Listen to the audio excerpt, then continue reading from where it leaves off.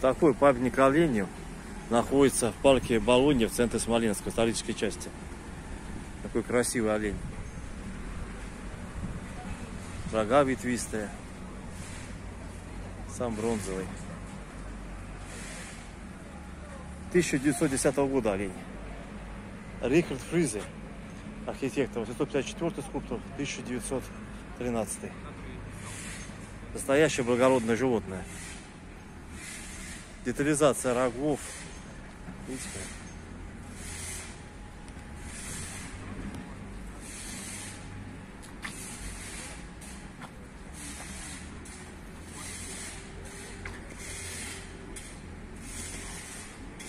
Такой же красивый лев недалеко от оленя. Сейчас покажу.